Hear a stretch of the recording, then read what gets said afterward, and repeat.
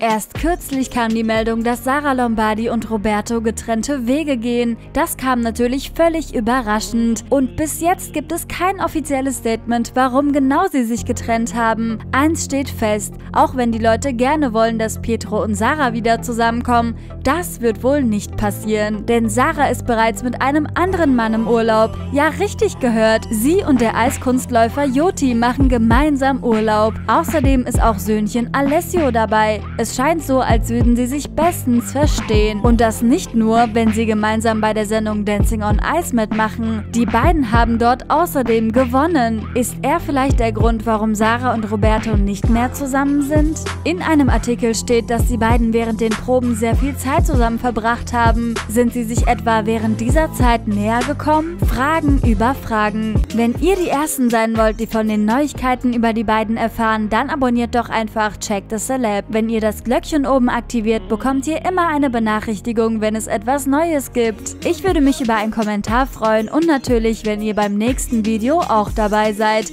Bis dann!